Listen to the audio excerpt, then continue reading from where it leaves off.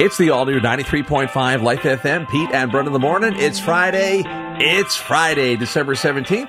After a cloudy start this morning, we'll see some sun and clouds for you today. And riding home this afternoon, some sun coming in your windshield, a high of 46. And we're happy to say good morning to your gal, Kara, Kara Birkenstock. All things glam, affordable, and luxurious. And we're going to do a little bit of last minute shopping for those hard to buy for folks on your list. Hi, Kara. Hey guys, good morning. Morning. Happy almost Christmas. I Yeah. can't believe it.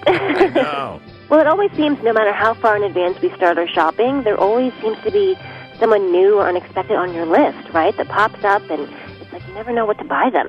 On your list, who would be the number one hardest person to buy for? For me, personally, the hardest person to buy for is the stylish fashionista who has everything. Yeah. It's always hard to figure out what they'll like, you know, trying to figure out their style and their size. And buying clothes for anyone in general is just a really hard thing to do. Sure. But, you know, if you're in need of a great gift for the stylish people in your life, you can't go wrong with the gift of shoes. Oh. What fashionista, of course, doesn't appreciate a fabulous pair or two or three of shoes?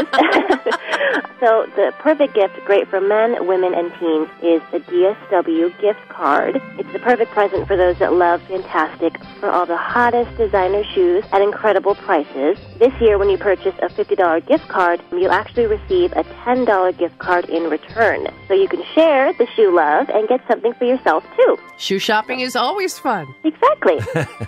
All right, so moving on to difficult teens, teenagers. Yes. they always seem so difficult to shop for, you know, especially because they always seem to have everything they want, and it's all about technology and video games. But like I said, buying clothes for teens too is a kind of a touchy subject. But when it comes to teen style, I think one item stands out above the rest, and that is the graphic T-shirt. It seems every teenager these days in high school and middle school and even college, you know, they're seen in their cool vintage inspired tees or modern pop culture right across their chest in a graphic tee. They're perfect because they go with everything, you know, from jeans and shorts for boys or leggings and skirts for girls. Um, I found a great website called rotemgear.com, and it's a really eclectic site with a fantastic selection of ethnic, retro, and pop culture tees and products that are very reasonable. And they're affordable at just $18.99 and up. well, those are good prices. Yeah. All right, so.